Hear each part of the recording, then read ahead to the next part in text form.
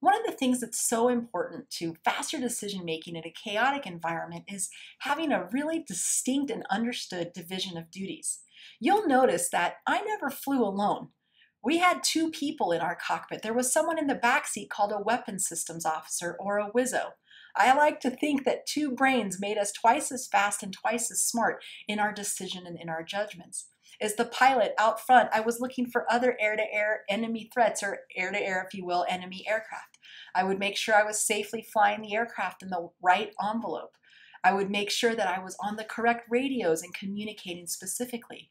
The WISO in the background was making sure all of our air to ground weapon systems were up online and precise, helping us to target the exact location that we needed to safely employ weapons. You'll notice we never fly alone. We always fly with a wingman. We had airborne command and control helping us as well. Sometimes we'd be working four different radios at a time, and let's not forget the person who matters most, our customer on the ground, the warfighter's perspective.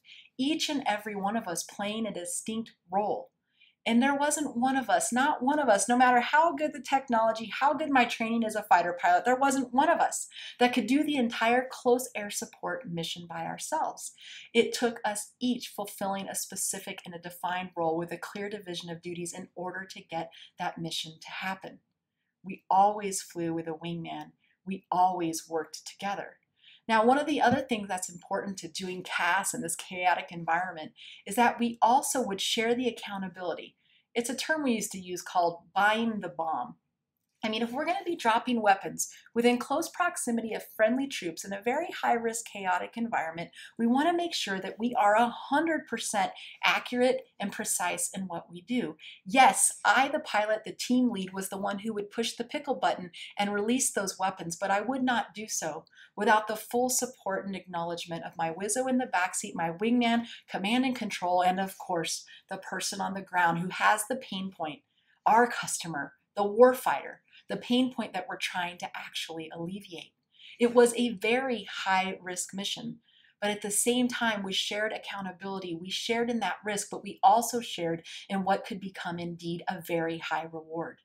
One of the other things that was so vital in a chaotic environment was making sure, as the flight lead, the leader of a team, that I was clear and concise in my communication. I just told you that we're going to be working sometimes four radios uh, there's going to be explosions and stuff in the background, a sense of urgency in a young allied person's voice, right? The stress is extremely high.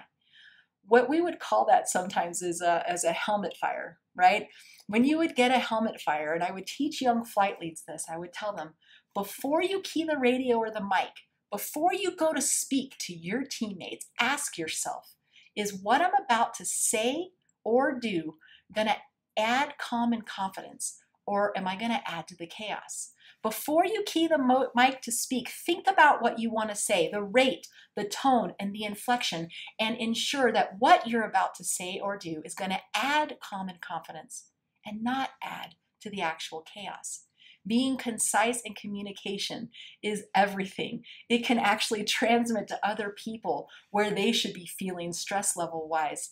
You hold the rate, the tone, and the infection and the inflection, and you yourself can add calm and confidence.